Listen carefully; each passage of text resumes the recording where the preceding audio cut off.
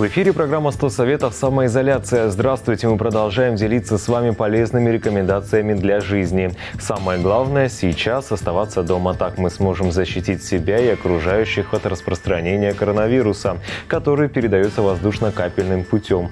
Руки можно помыть, поверхности протереть. Ну, чем продезинфицировать воздух? Оказывается, эфирным маслом. Это не только приятный аромат, но и мощный антисептик. Плюс ко всему, весной наша кожа нуждается в увлажнении. Сегодня научимся в домашних условиях изготавливать освежающий спрей для лица. Сегодня будем делать с вами мятный спрей для того, чтобы освежиться за несколько секунд и выглядеть бодрыми и свежими.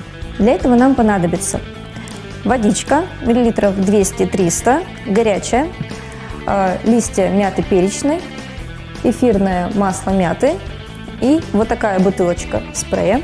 Для начала мы берем воду. Вода у нас горячая. Далее это листья мяты перечной.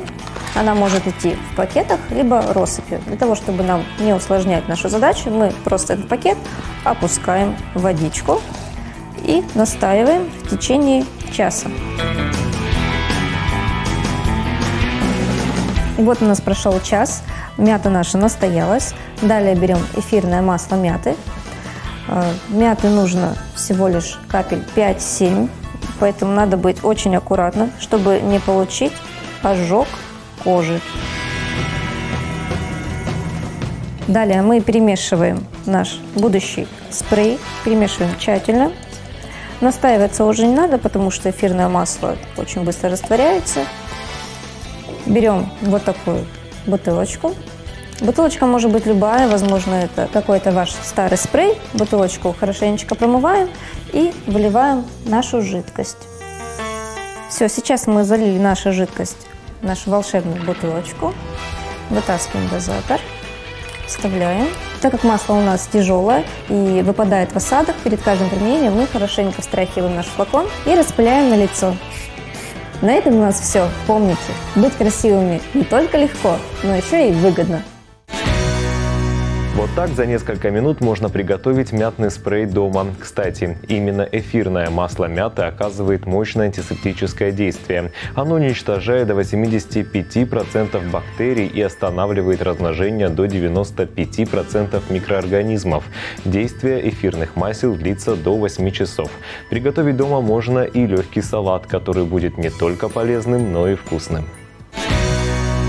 Сегодня мы приготовим несколько блюд – Начнем с салата «Цезарь» с креветкой. Ингредиенты в нашем салате – это лист салата, сухарики, редис, помидоры черри, креветка и, конечно же, соус. Лист салата накладываем на тарелочку. Он у нас уже предварительно порезанный. Далее нарезаем помидоры черри.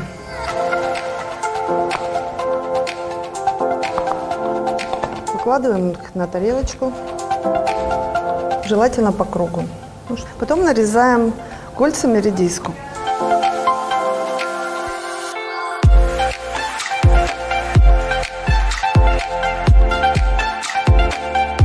Затем мы украшаем наш цезарь креветкой.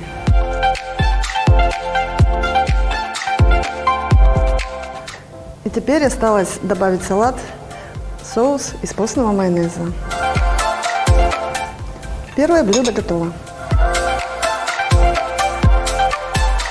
Ну а сейчас мы приготовим суп-пюре из брокколи с кокосовым молоком. Для этого нам понадобится свежий брокколи, картофель, лук и зелень. Соль, перец мы потом добавим при приготовлении по вкусу. Сначала нарезаем крупными дольками брокколи, картофель и репчатый лук. Добавляем соль и перец. Затем ставим на средний огонь, варим до готовности.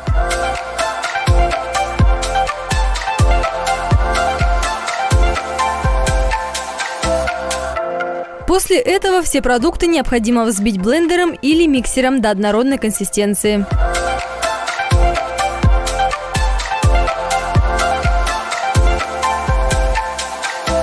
Ну вот наш суп готов. Добавляем кокосовое молоко.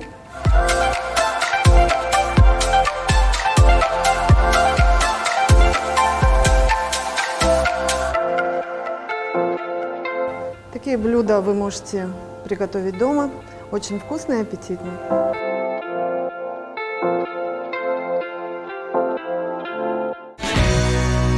Для поддержания формы весной лучше заменить некоторые продукты в своем рационе. Вместо жареных лучше есть вареные яйца, майонез, заменить сметаной, газированные напитки водой с лимоном. Конфеты убираем, покупаем курагу, а вместо чипсов едим попкорн. Не забываем заниматься спортом. Для этого не обязательно выходить на улицу или идти в фитнес-зал.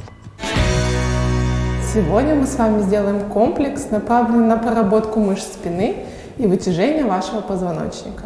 Для этого ложимся на живот и вытягиваем ручки вперед. Поднимаем ручки вверх, напрягаем поясницу, ягодицы зажимаем и начинаем раскачивать их вперед, назад. И ножки подняли, ручки опустили.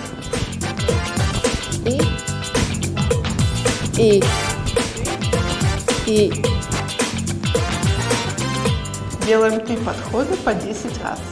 Дальше берем себя за щиколотки, подтягиваем ножками себя наверх, бедрами прижимаемся к полу, стоим в статике 10 шагов.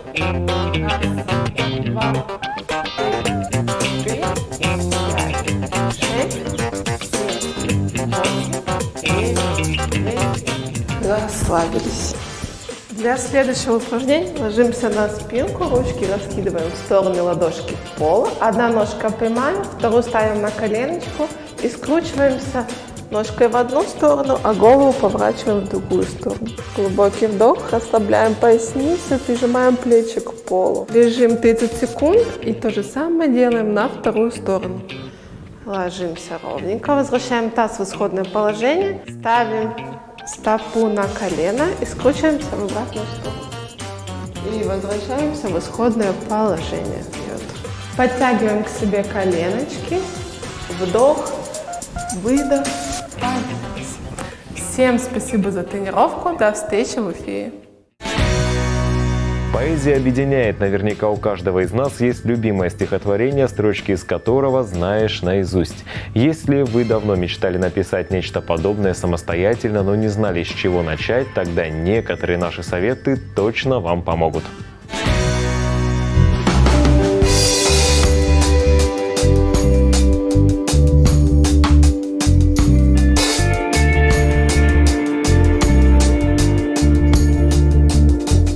Дом, работа, семья и собака, может кошка, не в этом ведь суть. Вроде все в этой жизни как надо, чего стоит себя обмануть.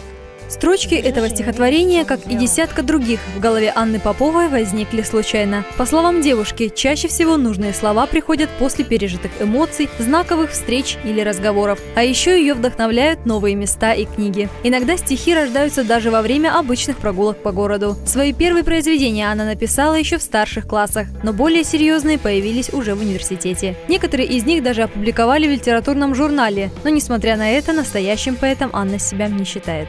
Иногда просто хочется там с карандашом, с листочком посидеть, что-то да приходит. А иногда по улице бреду, вдруг мысль какая-то осенила, новая строчка, где-нибудь записала, либо на листочке, в блокнотике, в телефоне, неважно. Потом развивается потихоньку. Пишу для себя, чтобы выразить все свои какие-то эмоции, то, что я переживаю, что я чувствую. Мне нужно выплеснуть. Для меня стихи — это своеобразный личный дневник где я просто все, о чем я думаю, я пытаюсь так выразить. Так легче. По словам литературоведов, поэзии важно не только содержание, но и форма. Поэтому каждый уважающий себя поэт, пусть и начинающий, в своем произведении должен выдерживать стихотворный размер и ритм, а для этого необходимо понять систему стихосложения.